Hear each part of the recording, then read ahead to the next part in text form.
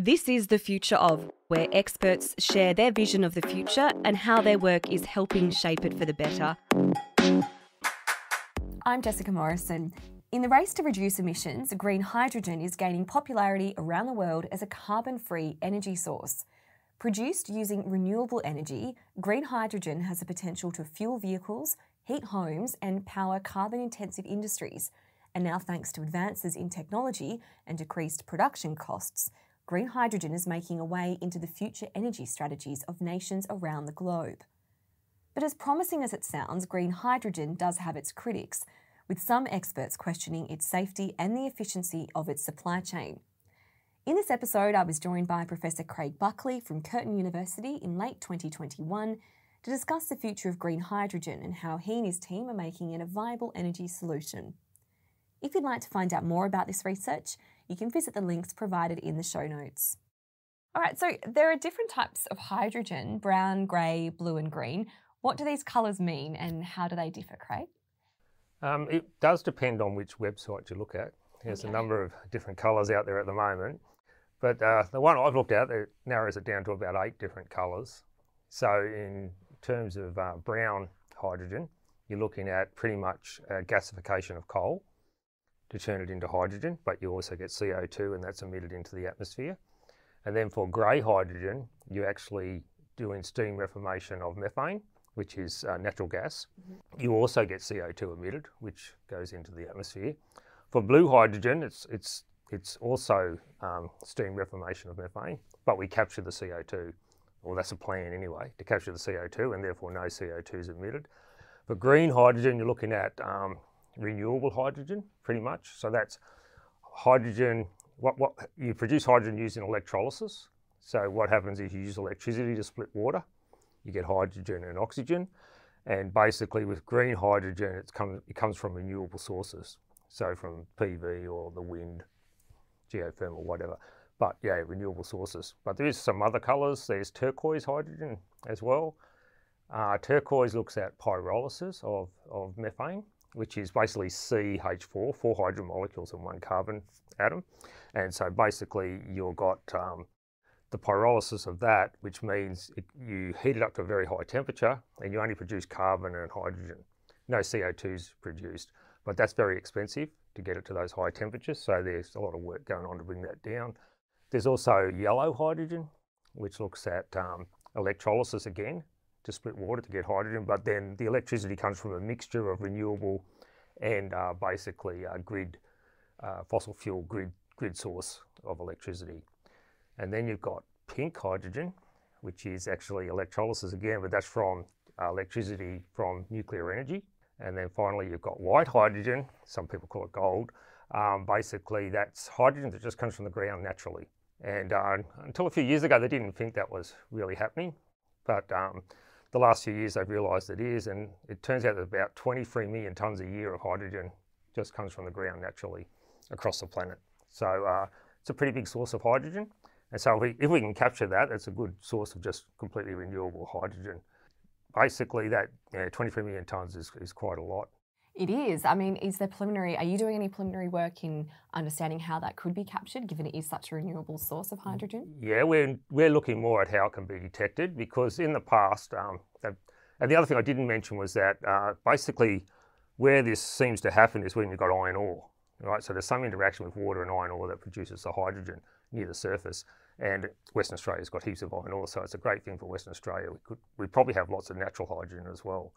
But in the past, when all the oil companies and uh, gas companies gone prospecting, their detectors don't pick up hydrogen. They just pick up what they're looking for. bodies. Yeah, so there's been lots of hydrogen always coming up, but they just haven't realised it was there. So we sort of need to find it first, yeah. detect it, and then work out how to capture. So now, now we know it's there. Mm. So now we're working on a project within the Hydrogen Storage Research Group, which I run here at Curtin, uh, basically to um, look at a way of detecting that hydrogen using what we call Raman scattering.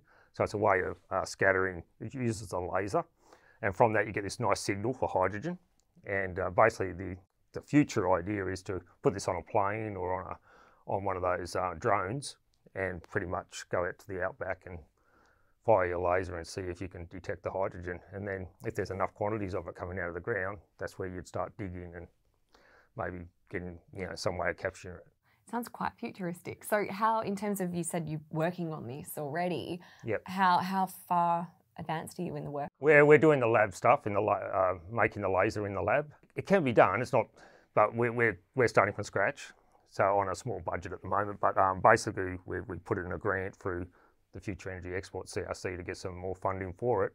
And um, basically, the idea is to just uh, set this Raman scattering technique up uh, first to show that it works in the lab that can detect hydrogen, and then we hope to be able to take it out in the field. For a more large scale application. So it'd be really good for hydrogen leaks as well. So if we're going to put hydrogen into pipelines and all that stuff, which people want to do, um, there will be a lot leaking from the pipelines, and so you'd like to monitor those leaks. It might be a good way of monitoring the leaks as well, as well as in factory settings as well.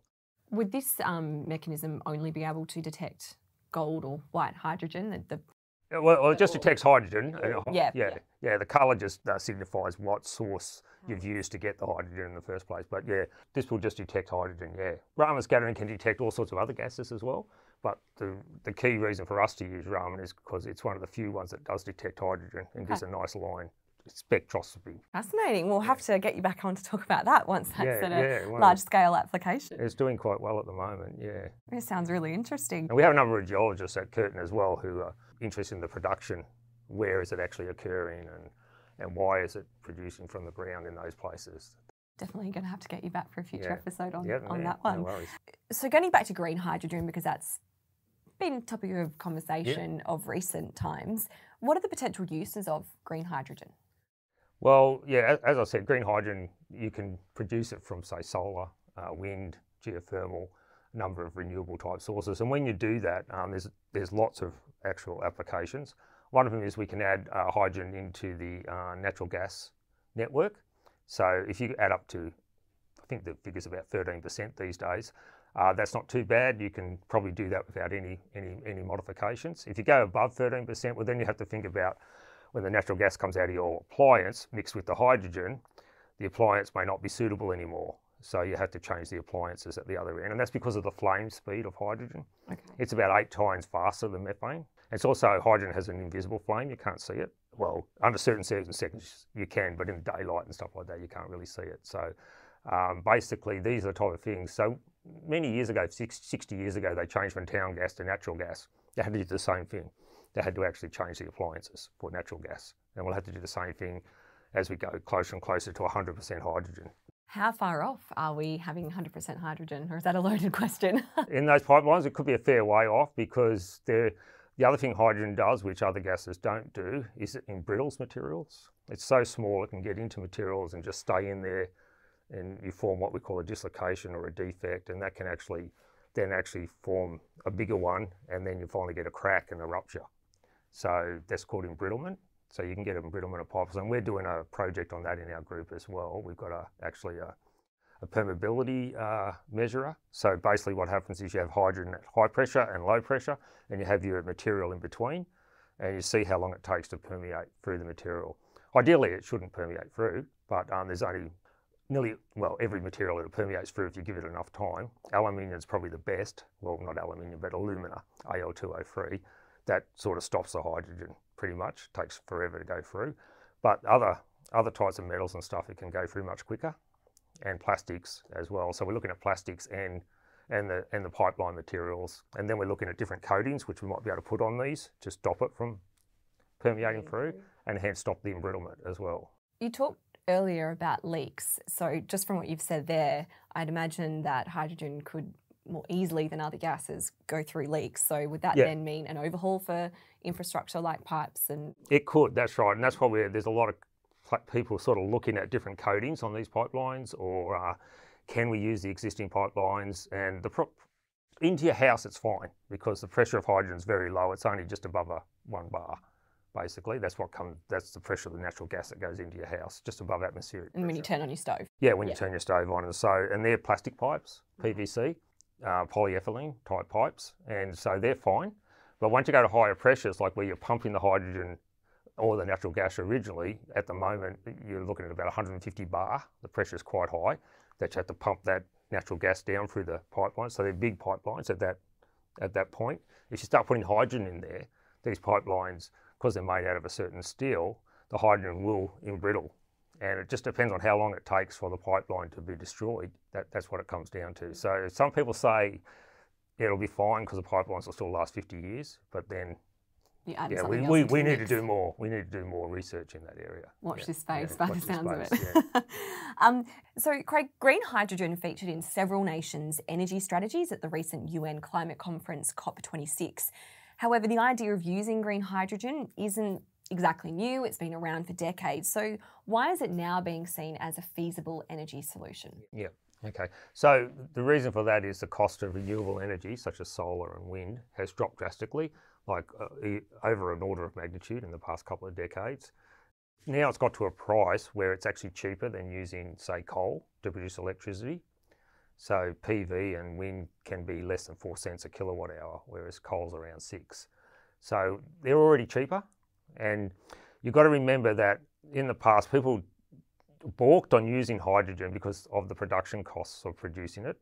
And basically, it turns out that if you use an electrolyser, and that's even today's modern electrolysers to produce hydrogen, I have to use a little bit of uh, numbers here. That's all right. It- It costs 54 kilowatt hours per kilogram of hydrogen produced, right? Though when you actually then use that hydrogen, you only get 33 kilowatt hours back. So you're losing quite a bit of energy. And people say, well, well, it makes no sense to use to split water to produce hydrogen. We might as well just get it from the fossil fuels. But now that carbon, um, the CO2 problem is such a major problem, climate change and everything, and most countries have got a price on carbon, even though we don't in Australia. That'll come, I hope. Um, basically, uh, if you put all that together, it becomes um, much more feasible now to actually use the hydrogen by um, using uh, renewable energy to produce it. And uh, basically, even though it's it's you get less energy out than what you put in, because it's now a commercial prospect. There's places where you can use hydrogen where you can make a lot of money, and uh, and that far outweighs that small gap Small loss yeah, that they're yeah, making. Loss that you make there. That's Yeah. right. So it comes back to commercial, commercial things. They've always been able to do it, but now the electrolyzers are much better. The actual fuel cells, which is what we use the hydrogen in, that produces electricity when you put hydrogen into a fuel cell. They're much better, much more efficient as well. These are the storage cells. Yeah, yeah, they're, they're, they're, a fuel cell is just the reverse of an electrolyzer. An electrolyzer, you put electricity in to split water to produce hydrogen. In a fuel cell, you put hydrogen in and oxygen, and you produce electricity and water. And that's why your car can run on a fuel cell, which will be basically electricity, and what will come out of the tailpipe will be water. It's my future, isn't So, it? so it's completely reversible. So that makes a lot of sense. And then if you take the climate change into account as well, that's the only way to go. And as you said, most countries have a price on, on Yes, carbon now. and they'll only get they'll only get more. And most most of our industries in Australia do have a price on carbon, but there's just not a government mandate at the moment. They all they all factor it in. They'll factor it in because they probably know it will They happen know it's going to happen some down the track. That's right. Are there any barriers that may prevent widespread adoption of green hydrogen? Yeah, there, there is some. Look, the one that normally pops up is safety. But I can, I, I can say right here and now, I've been working with hydrogen for a long time, and uh, basically, hydrogen is, is, is no more unsafe than the fossil fuels we use every day. We drive around with a bomb in the back of our car every day, basically using petrol. We don't worry about that, right? So hydrogen is no more dangerous than any of them, but it has it has special needs. So you have to take all those things into account. So, for instance, if you look at um, petrol uh, and hydrogen in terms of what temperature you have to go to to ignite it, hydrogen is 585 degrees Celsius, whereas petrol is 220 degrees Celsius. It's a lot lower. But in terms of, say, like I said, the flame speed, for instance, it's eight times higher than methane for hydrogen. And the ignition energy required to ignite hydrogen is one tenth of that of, of natural gas. So they're the things that you have to, it doesn't take much of a spark to ignite that hydrogen. So basically, the other thing that you have to look at too is you need 4 to 77% volume of hydrogen in air for it to actually ignite, uh, whereas um, that's six times greater than what you do for methane, natural gas. So these are the things that um, are are pros and cons for hydrogen. But if you look at it uh, overall, we produce 90 million tonnes of hydrogen per year at the present time. Most of it comes through the steam reformation of methane. And all that hydrogen is handled quite well. There's, you don't hear of many accidents. It's all done around the ports, right, where, where, where it's handled, all the, all, the, all the refineries. Now we're moving it into the public space, and this is where we have to make sure that all the safety procedures are there. But I've got no problems whatsoever that hydrogen's no more no more dangerous than what we're already using. We've got fuel stations everywhere, haven't yeah, we?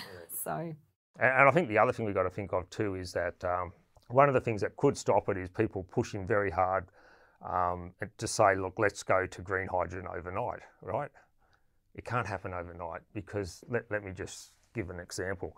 Um, at the moment, in Western Australia, we produce 74 million tonnes of natural gas, which we export every year, right? That um, if you wanted to send the same amount of hydrogen overseas, right, you need 34 million tonnes of hydrogen because it's got a higher energy content than natural gas, right? That 34 million tonnes, if you wanted to produce it just renewably using uh, renewable electricity, you would need 1,836 terawatt hours of electricity. To put that into context, that's seven over seven times greater than our, our total electricity production in 2018 in Australia. So that's how much renewables we need to be able to be exporting the same amount of hydrogen as we do in methane, methane at the moment, right? So that gives you some, some scope of the scale of the problem.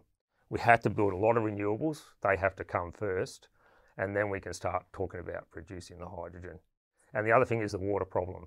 To produce, going back to that example, the 34 million tonnes of hydrogen, you need 310 gigalitres of water, which is about 2.5% of Australia's water needs, right? So it's quite a bit, but if you put it into context, that's about half of what the mines use at the moment. So the mines are already using double double that. So that's that's ideal water too. That's using the, if you look at the uh, chemical reaction to go from hydrogen to water, you basically need nine litres of water for one kilogram of hydrogen. But we will need more than that because there will be losses and stuff like that as well. So when you put it into context like that, I don't see that as being an insurmountable barrier. It's just one of the barriers that will come up but it's it's yeah. yeah larger scale use of green yeah hydrogen. and so desalination plants can be used where um, if you haven't got enough fresh water. The thing is you have to use pretty pure water in electrolysis. It can't be uh, dirty water. And so you have to use membranes and things like that to actually pass the water through to actually purify it enough to be able to use it in the electrolyzer could that be done at desalination or existing desalination plants? It, it, it, could. I mean, I think when they produce it in the desalination plants, they produce pretty pure water from that.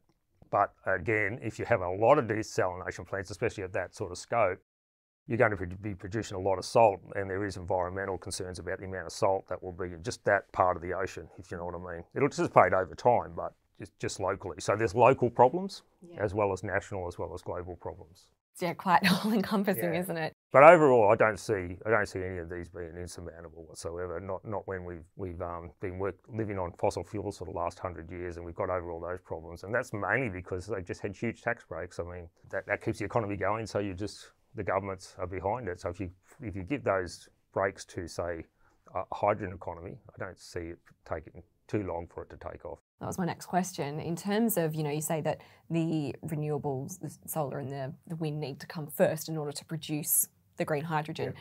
What do you believe is the time frame that we could see those come online and therefore be able to produce the amount of green hydrogen we'd need? It does depend on uh, how much the governments get behind it because industry already is starting to. If you look at what Twiggy Forrest is doing, mm. he's already said by 2030 he's going to run all his mining operations on green hydrogen not green hydrogen, sorry, renewables, and that will involve green hydrogen as well. So um, it doesn't really depend, but most countries are looking at 2050 as being that target to have, I don't know what it was now, was it 50% cut in CO2 or? Yeah, so um, they're all looking at that 2050 target. I think it's got to be done a bit earlier though. And so this will depend on whether the governments, I know the state governments in Australia are very good. They put a lot of money into hydrogen projects and there's a lot of renewable energy projects occurring there's some really big ones touted for Western Australia uh, in the gigawatt range. Yeah, these if these all come online, well then you'll you'll start to be having this renewable energy which it can be used. Part of that renewable energy can be used to produce hydrogen. See, the good thing about hydrogen is um, a lot of people say, well, why don't we just use batteries? Well, batteries are fantastic for short-term storage. One to two hours, batteries are the best. You, hydrogen won't beat batteries, no way. But once you want to go above 24 hours, and seasonal storage, hydrogen is way better. So it's horses for courses. And um, there isn't, there shouldn't be a, a, conflict between batteries and hydrogen. They just should work together because it depends on what you're actually using it for. And, and the other other uses for hydrogen, I don't think I answered most of that question because I only, I only got to the natural gas part. But right. there's uh, hydrogen in transport. So basically, fuel cell cars running on hydrogen. Um, you pretty much need five kilograms of hydrogen, and because um, to get five kilograms in the tank, you've got to compress it to high pressure, 700 bar, and that's where some of the safety issues come in. Uh, basically, um, that 700 bar tank with five kilograms of hydrogen will take you pretty much the same distance that your petrol car will take you, and um, that that will be a fuel cell car. So the hydrogen will actually feed a fuel cell, which will produce electricity. Oxygen will come in, and electricity will be produced, and water will be produced. So the low hanging fruit for hydrogen in transports, trucks and buses, because really um, batteries are probably, you, wait, you need far too many batteries to be able to run a truck and, uh, and a bus, for instance. So hydrogen, which has a much higher energy density than, than batteries, would be much better to use. Whereas for a car, uh, uh, short things around the city, batteries are fine. The other thing is the world record on actually a car the distance of a car going was just recently on hydrogen, and that was 1,360 kilometres on one tank. Whoa. Yeah, that was in California just recently. So, yeah, you can go the long distances with hydrogen. And in terms of the price on hydrogen, because you only need five kilograms to fill your tank up, even if hydrogen's $10 a kilogram, it's 50 bucks to fill your tank up. And if it's less, it's less. It just depends on what the browsers are going to charge to, for their hydrogen and what it comes down to. Certainly less than what I paid recently. So, and I've just got a small SUV. But so. you don't need much hydrogen to run a car. Yeah. You know, in, in terms of actual mass.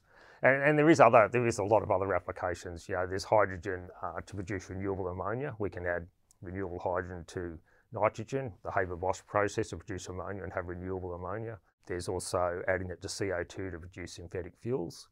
You can also use it in industrial applications as well. And one of the big things at the moment is green steel.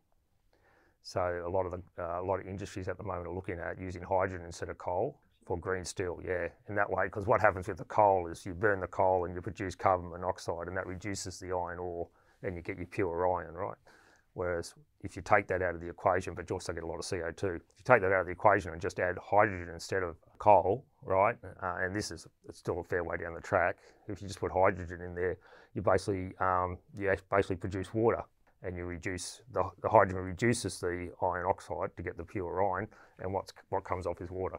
So no CO2, no. So it really mitigates the CO2 again. So that's a good thing about hydrogen. It really it can really stop CO2 completely being formed. Absolutely. Uh, Craig, hydrogen has been a focus of your research for some years, obviously. Yeah, yeah. What drives your interest in this area?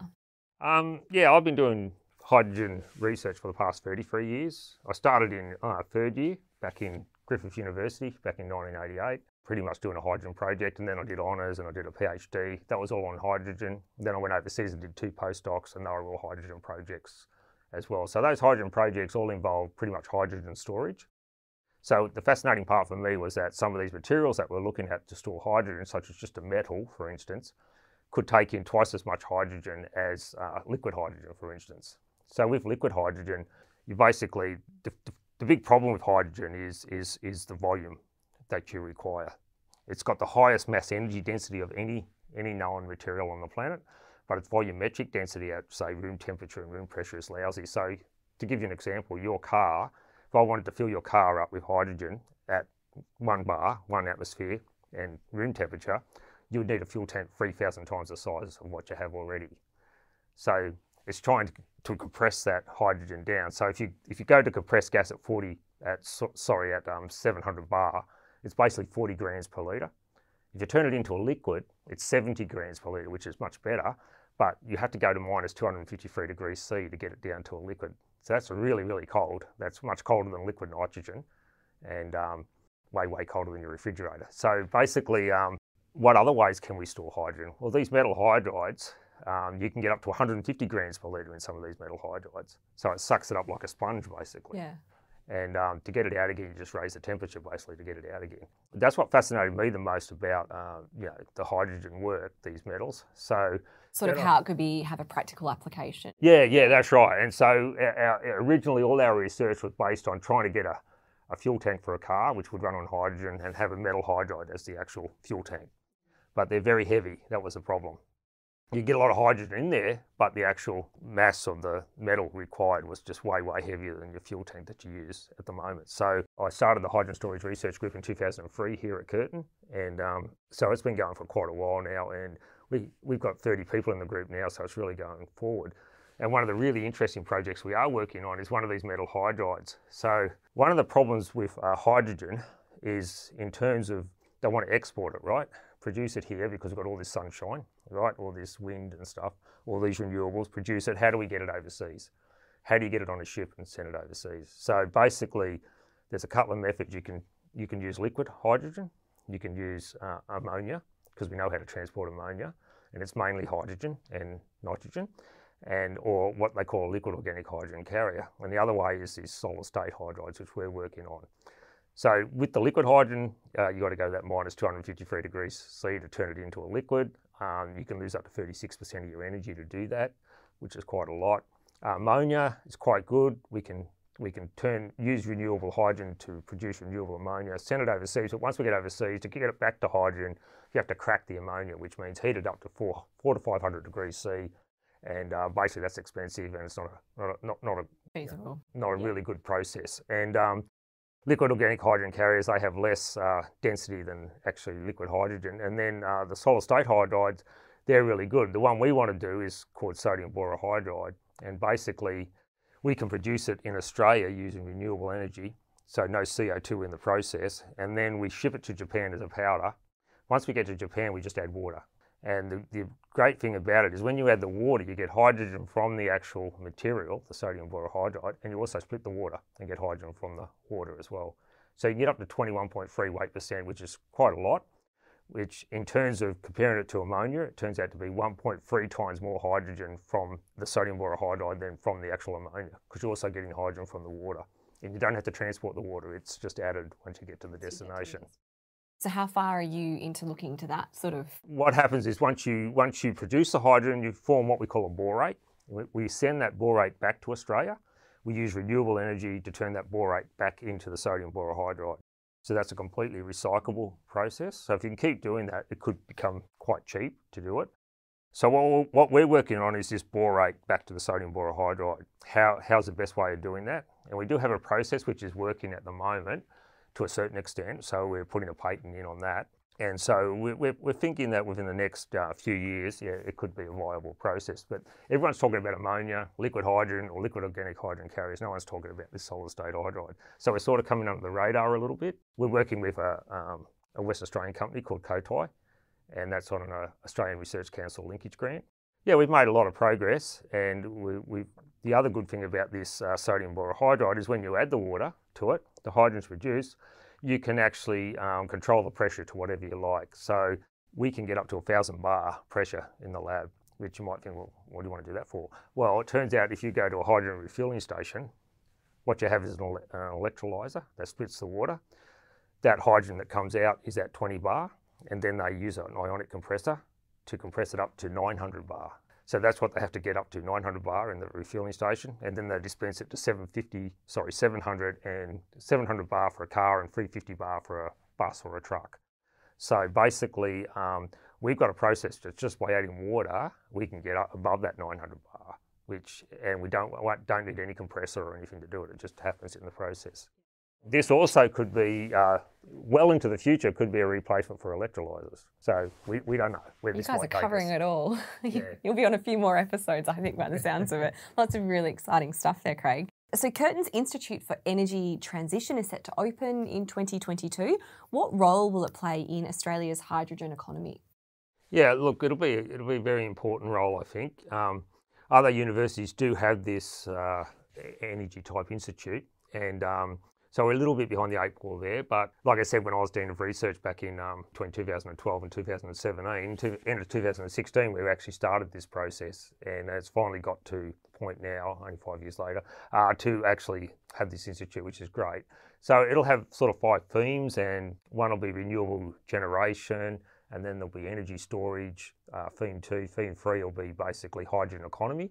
Theme four will be the transition from oil and gas going to a hydrogen type economy. And then you've got uh, the final one will be mining, minerals and mining. All the whole five of them will, will have some uh, form of hydrogen involved with them, even the mining part, because we want to run the mines on um, basically renewables, and green hydrogen will play a big part in that because of the seasonal storage and all of that type of stuff.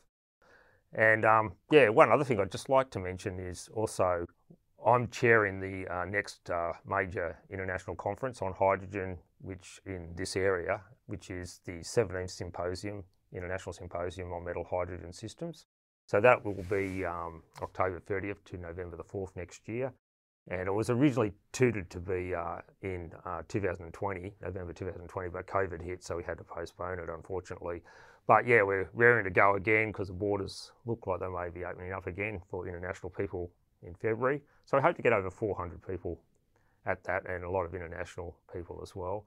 So yeah, we're looking forward to uh, to that. So if anyone who's listening to this wants to have a look, just go to the website, look up MH 2022 or MH 2020, and you should be able to um, get some information.